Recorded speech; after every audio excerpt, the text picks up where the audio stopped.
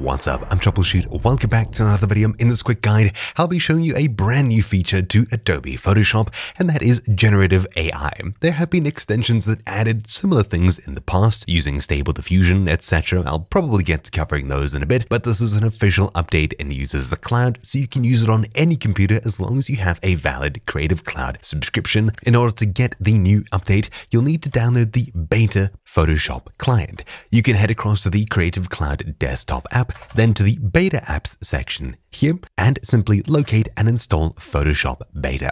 When it's done installing, click open here and you'll see Photoshop start up as usual, but when it finishes, we'll see this, or at least you might see this. You can click try now and it'll take you across to an information page where you learn about all that you can do with this AI. You'll find this linked in the description down below. They go through generating objects, by selecting an area, generating something, adding a prompt, variations, etc., generating backgrounds, extending images, removing objects, and of course some benefits, tips and tricks, etc. Let's get to that now. So I'll close this and open up any image. Alright, so let's go with this one which I generated previously. Again, another pop-up about it. And now we see this little bar at the bottom. Select subject, remove background, etc. But these are really powerful new generative AI functions. If you don't see the bar, you can simply head to Window at the very top and make sure that the contextual taskbar is turned on. Now, when it is, all we need to do is select an area or select something. We can select a subject, for example, and it gives us what it thinks is the subject here. And as soon as anything is selected, you'll see it changes to generative fill at the very bottom. I'll just use Alt and drag to get rid of this section down here. And we'll just zoom in and clean this up a bit more. There we go, that's good enough really. Let's start with swapping out the background. In order to change the background, I'll hit Ctrl Shift and I to invert my selection. So we have everything but the dog selected, generative fill, and it's telling us about user guidelines. I'll agree here. You'll also find this in the description down below. For example, we can't violate copyright, no commercial use currently while it's in beta. That's a little bit annoying, but for the most part, we're ready to mess around with it. So we can enter a prompt here, such as a park generate. Now we'll see what it spits out. After a few seconds, probably about 30, we should see a response, and that's pretty good. If we have a look at our current layer, you'll see that there's a new layer here, and that's the generative AI layer mask. If we click the layer, we'll get some options in the properties window, which you can open with window followed by properties. We have three variations generated for every selection that we generate. So for example, here's one, here's number two, here's number three. Obviously, number three doesn't make much sense. Number one is probably the best. So I'll leave it here, for example. We can also click through them at the bottom here and give some responses such as good or bad. Great. Now you can of course change the prompt. If you simply change the prompt here, click generate and you'll get a few more variations listed right below. If we go ahead and select something else, for example, say these trees here, we can get rid of them. So generative fill and we'll call it maybe skyscrapers.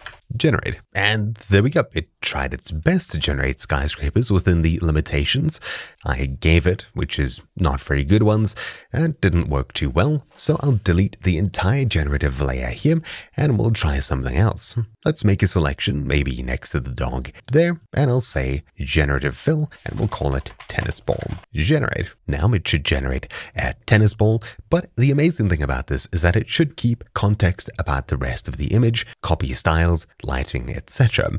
For this, it seems to be violently moving for some reason, but maybe I'm just throwing a ball for the dog. That makes sense. This one seems the least blurry, so I'll leave it here. Great. Now we've generated an object and we've changed the background, but some of the other features they talk about is extending images, and that's really cool. So all we need to do is select the crop tool by hitting C, and now we can start dragging around the image to expand it. And of course, you can choose a ratio in the top left here if you'd like to lock it to a specific ratio. For example, I'll be cropping out maybe this section here, keeping the dog centered. Now we have two big bars on the side. What can we do about them? Well, first of all, we'll hit enter to lock in our changes as such.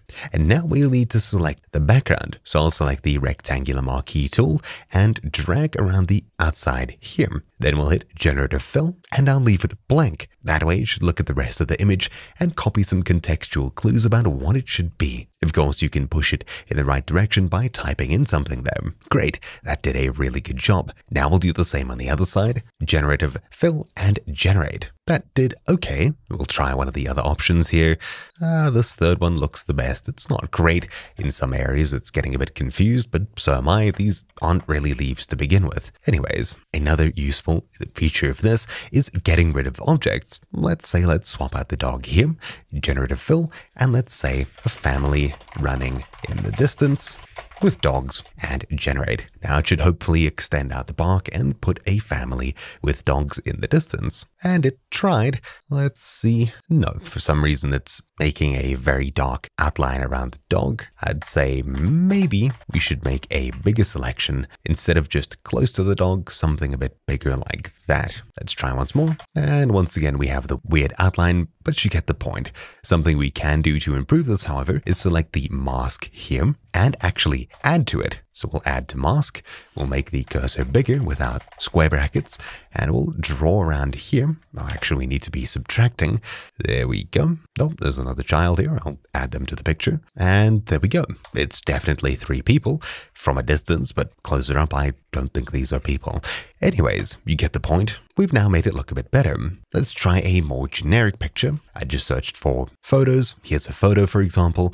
If we want to get rid of this person on the far right, we'll select them and simply generate a fill and leave it blank, generate, and it should try to get rid of whatever we have selected. Just like that, we've fixed the image. Perfect. So what are some of the limitations of this new generative AI in Photoshop? Well, of course, it's using Adobe Firefly to generate images, which is essentially just a stable diffusion competitor. It's trained in images and uses current day technology, so of course, some things will improve with time. Something else that you may have noticed when I zoomed in is that where we extended the pictures on the far sides, oh, we scroll down quite a bit there, you'll notice that things are noticeably blurrier where we generated pixels. Maybe not in this image, but this one here, we should definitely see it. Zooming in, you can see it got rid of the film grain, for example, but zooming into the floor over here, you can see it got rid of quite a bit of quality. Why is that? Well, simply put, the image generation only works with images under 1024 pixels on the longest side. So if you like a higher quality generation,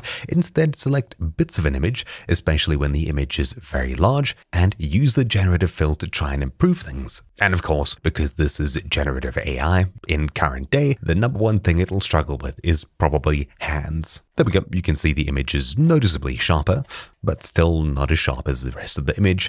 Anyway, you get the point. Now you can also use it to swap out elements of an image, for example. So I'll select the image layer and start selecting this man's t-shirt, for example, making sure that everything is selected, plus minus.